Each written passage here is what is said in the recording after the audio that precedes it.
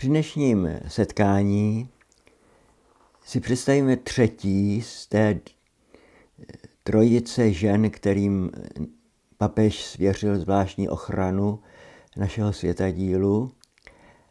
Trošku nás eh, zarazí, že v tak dlouhé době našel vlastně dvě světice, které jsou současnice. Eh, Brigita a Kateřina Sienská, o které si budeme dneska eh, vyprávět, žili ve stejné době a tedy pravděpodobně, nebo spíš určitě se znali, i když Kateřina je o trošku mladší než Brigita.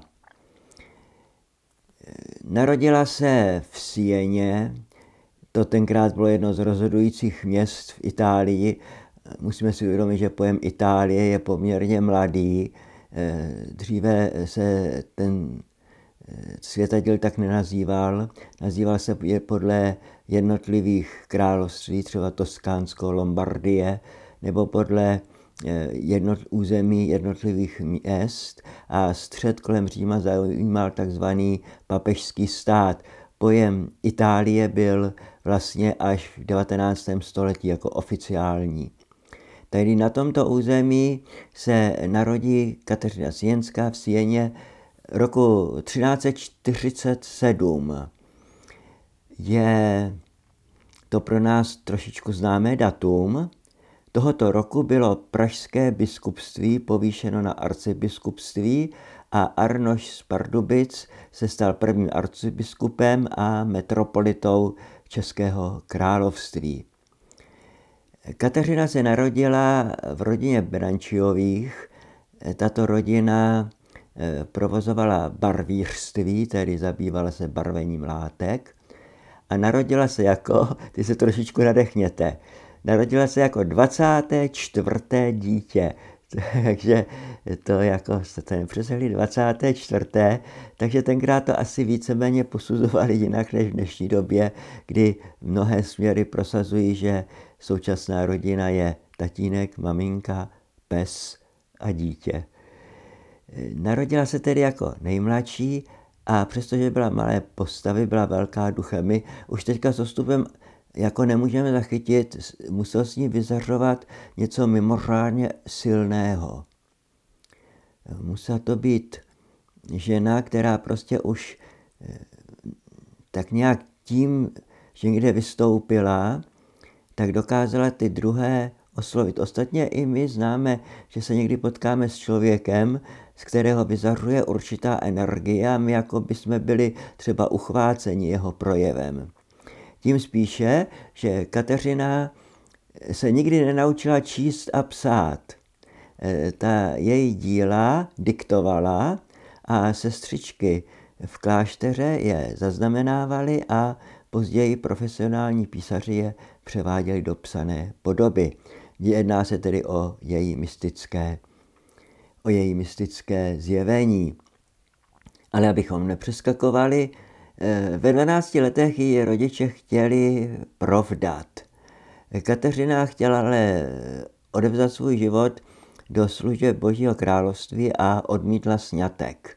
Pravděpodobně eh, to měla být nějaká, jak se říká, výhodná partie, eh, protože to rodiče velice mrzelo a podle životopisu Kateřiny Eh, za to eh, se k ní chovali velice jaksi tvrdě. Ona musela, teď bychom řekli, pracovat doma v rodinném podniku, tedy v těch barvířských dílnách. A navíc ji postihla nemoc, která tenkrát byla i smrtelná, dostala neštovice. Sice se uzdravila, ale její obličej už byl do konce života touto nemocí poznamená. My už tuto nemoc známe víceméně jenom mm, z historie v současné době, aspoň tady u nás se prakticky nevyskytuje. Eh, Kateřina ale v 18 letech, když získává plnoletost, opouští, opouští rodný dům, odchází do eh, řeholní rodiny dominikánské a začíná své veliké dílo veřejného vystupování. Právě jak jsem říkal, že z ní musela vyzařovat nějaká energie a síla, když si uvědomíme, že to byla vlastně nevzdělaná dívka a že byla velmi mladá a je v životopisech je zaznamenáno, že o radu k ní přicházeli i mocní toho světa, to znamená dokonce i vladařové těch měst a nebo církevní hodnostáři, tak z ní určitě muselo vyzařovat, eh, co si, co se nejde lidskými slovy přesně popsat. Eh, Kateřina eh, však dostává veliký dar, dostává mystická zjevení. Právě tato mystická zjevení patří ke klasické teologické literatuře rozjímavého křesťanství a právě ta jí získala tu velikou pověst, kterou měla. Jak jsem řekl, Itálie v té době byla rozdělena na jednotlivá území těch malých království, po případě území jednotlivých měst a jména všichni znáte, Florencie a podobně, které pořád mezi sebou zápasily o něco. A Kateřina proslula jako taková apoštolka míru a smíření, což je první důvod, proč ji papež vybral. Že ona vlastně byla nositelkou smíření a dokázala tím svým šarmem a vystupováním zabránit mnoha krveprolévání a válkám. S tou Brigitou ji pojí eh, ta veliká touha aby se římští biskupové vrátili, tedy papežové, aby se vrátili zpátky do Říma. Už jsem při tom povídání o Brigitě eh, připomněl, že Řím v té době byl naprosto rozvrácený, že zdaleka nepřipomínal nějaké významné místo a to, co se nepovedlo Brigitě, co se nepovedlo mnoha jiným, ať už světským nebo náboženským činitelům, se podařilo Kateřině. Kateřina přiměla tehdejšího papeže eh, Řehoře IX., aby se vrátil do Říma. A mm, on na její naléhání skutečně do Říma přichází a jak už jsem minule říkal, když spatřil to spustošené město, tak se prostě obrátil a eh, rozhodl se, že se vrátí do Avignonu. Ta Kateřina měla pravděpodobně opravdu v těch vizích i nazírání, protože eh, my se neumíme lidsky vysvětlit. Prostě počítala tím, že ten papež bude chtět zdrhnout, tak na něho čekala kousek od Říma, když se k ní papežský eh, průvod eh, přiblížil, tak vystoupila s takovou energií a silou, že prostě papež znovu obrátil svůj vůz a do toho města se vrátil, už se neodvážil Řím opustit. Takže bylo to eh, dílo mnohých, ale bylo završeno právě Kateřinou, která toho papeže do Říma přivádí. Kateřina však měla ještě další zvláštní vyvolení. V roce 90, 1378 dostává stigma. Je první ženou, kterou eh, Bůh vyznamenal tímto zvláštním mimořádným znamením. Před ní toto znamení eh, krvavých ran měli jenom muži. Připomínáme si, že první, který ho dostal, byl svatý František z Asízy. Kateřina dlouho skrývala eh, tady ta znamení, která měla na svém těle, žila pak v naprostém ústraní a vlastně její činnost už nebyla ta, že by usmiřovala a vystupovala na veřejnosti, ale byla to ta činnost těch mystických zjevení, pro která ji později papež jmenoval, to už teda bylo za minulého století, učitelkou církve. Svatá Kateřina Sienská byla druhá žena, která tento titul eh, dostala. Eh, první eh, byla Terezie Veliká, Terezie od Ježíše. Ta byla první, která dostala v církvi titul učitelka církve a druhá, které byl tento titul propůjčen, byla právě Kateřina Sienská. Potom už ten titul byl dán víckrát, třeba Terezička Ježíškova má také titul učitelky církve.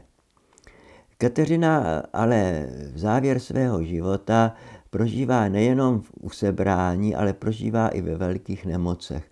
V závěru života byla prakticky upoutána na lůžko a nemohla ani přijímat pokrm. Je pro nás nevyslovit, eh, těžko představitelné, že Kateřina poslední roky života vůbec nejedla. Jediné hmotné, co přijímala, byla svatá hostie, když denně dostávala svaté přijímání. My si v dnešní době neumíme vysvětlit, jak to po té eh, fyzické stránce bylo možné, že vydržela tak dlouho bez přijímání jakéhokoliv pokrmu. Eh, umírá v takový symbolický věk, umírá, když jí bylo 33 roku. Takže z toho vidíme, že toto veliké dílo stihla poměrně ve eh, velice krátké době a že tedy musela být velice mladá, když tam domlouvala těm vládcům. Svatý otec Jan Pavel ji vybral tedy jako třetí ochránkyni Evropy pro tu její velikou snahu, aby v Evropě nastal pokoj, aby mezi národy už nebylo nepřátelství a zbytečné, zbytečná trýzeň, kterou odnášel ubohý lid. Kateřina se velice věnovala péči těch nejubožejších, pomáhala, dokud ještě mohla chodit. Když byly třeba morové epidemie, tak eh, ošetřovala. Dokonce při jedné se velice nakazila, a, ale také se uzdravila. Doprovázela odsouzence Eh, doprovázela odsouzence na smrt. Je zaznamenáno, že stála u toho odsouzence na smrt do poslední chvíle a když byl popraven, že častokrát byla postříkána krví toho popravovaného člověka. Takže dokázala být velkou nositelkou takové té síly pro ty zločince přece jenom v závěru života se obrátit k Bohu byla nositelkou velkého milosrdenství. Jednou potkala jakéhosi žebráka a aby se zahřál, tak mu dala svůj plášť, což v tehdejší době podle tehdejších mravů bylo jakoby neslušné. Tenkrát se žena na ulici nesměla objevit bez pláště. A když za to Kateřinu kritizovali, tak na to prý odpověděla, raději budu shledána bez pláště, než bez lásky k bližnímu. Takže to právě tato její veliká láska ji podle papeže předurčila, aby chránila náš světadíl. A pak ten druhý, to byly ty mystické spisy, ve kterých jako celá řada dalších mystiků přibližovala eh, to boží milosrdenství skrze utrpení Pána Ježíše. Takže Kateřina Sienská, třetí, které papežové zvěřili zvláštní ochranu nad naším světadílem. No a když to byla učitelka církve, tak už se začalo učit náboženství. Doufáme, že v našich rodinách a domovech se všechny děti nějakým způsobem zúčastňují vyučování náboženství, ať už je organizováno ve školách nebo ve velkých městech, to bývá na různých shromážděních, ve farnostech, na farách. Nemělo by být žádné naše dítě, které by se neseznamovalo s naukou církve a ze vším, co k tomu patří. A je to něco důležitého, na co musí rodiče a i kmotři stále pamatovat. A tak tedy na závěr jedna příhoda z vyučování náboženství. Já jsem vám mm, už jednou říkal o škole ve Speřicích, v té malé vesničce blízko Humpolce, jak tam pan řídící šikovně zařídil, že všechny děti byly přihlášené na náboženství. A tam se učilo velice hezky, i když někdy to bylo takové jako rozverné, protože jednou, když skončilo náboženství a než jsem si složil věci, tak tam ty malí vyběhli na chodbu, zamkli mě ve třídě a velice jásali, co teď budu dělat, když jsem zamčený ve třídě. A teď už by to nešlo. To byla taková pěkná přízemní škola, tak já jsem je nechal jásat u těch dveří, vyskočil jsem z okna, to už by teďka nešlo, oběhl jsem chodbou a když jsem stál za nimi, oni tak jásali, že si to vůbec nevšimli, že stojím za ním. Tak jsem pokud možno silným hlasem zařměl. Tak, odemknete nebo ne? No, to když se lekli. Ale nakonec ta hodina skončila veselé, protože já si myslím, že náboženství má být velice radostné, aby se děti vždycky eh, těšili zase na další hodinu. A my se budeme těšit, že se zase setkáme při eh, dalších svědcích, kterým byla Evropa svěřena a tentokrát to budou svědci, kteří jsou nám velice blízký, svatý Cyril a svatý Metoděj.